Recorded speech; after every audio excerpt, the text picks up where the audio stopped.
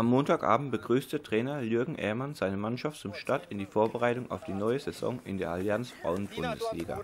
Ja, die Vorbereitung äh, ist eingeteilt in zwei Blöcke. Ja, wir machen jetzt den ersten Block mit dem Abschluss dann in Österreich, in Jaguns. Dann haben die Spieler nochmal ein kleiner freier Raum von sechs Tagen und danach startet dann äh, der zweite Block mit dem Trainingslager in Neuenkirchen im Odenwald und mit einigen Vorbereitungsspielen natürlich dazwischen und mit vielen Trainingseinheiten.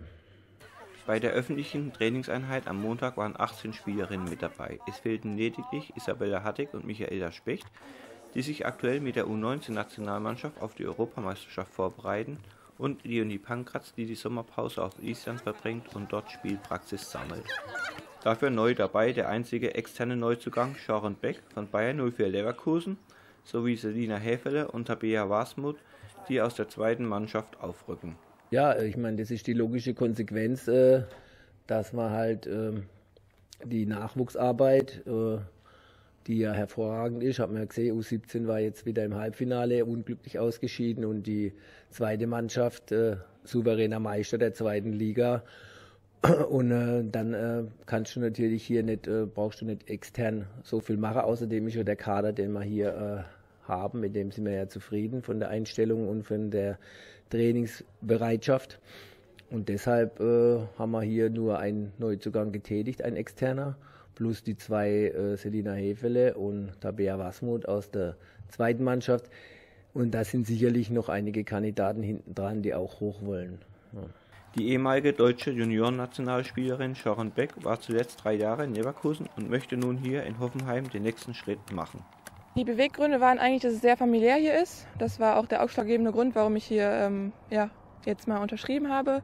Und ich denke einfach, das ist der nächste Schritt. Ja, für mich persönlich halt jeden Tag sich zu verbessern, mit der Mannschaft gutes Mittelfeld äh, zu erreichen und ja, sich von Tag zu Tag einfach zu verbessern.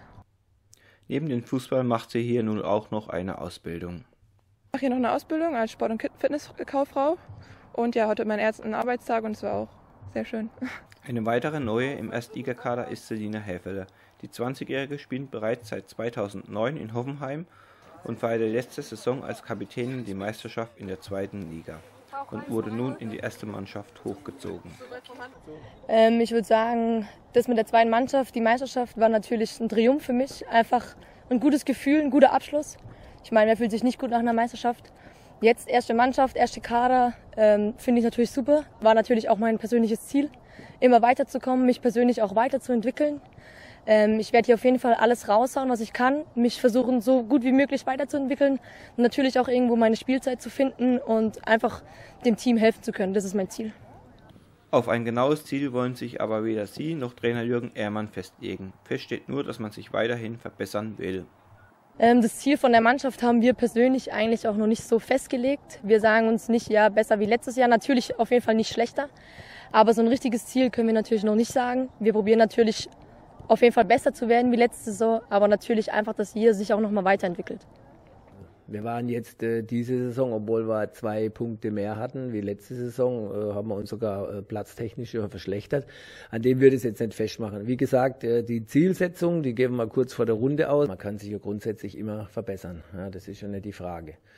Und äh, das haben wir auch die letzten acht Jahre äh, kontinuierlich so vorangetrieben, dass wir immer wieder einen Platz besser oder aufgestiegen oder einen Punkt mehr oder zwei Punkte mehr.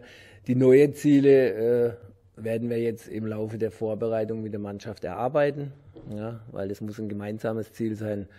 Aber sicher wollen wir uns natürlich nicht verschlechtern. Nach dem Training fand ein gemeinsames Grillfest von Mannschaft, Funktionsteam, Presse, Sponsoren und Fans statt, mit dem die Vorbereitung auf die neue Saison eingeläutet wurde. Mit dabei war unter anderem auch das Adviva Handbike Team.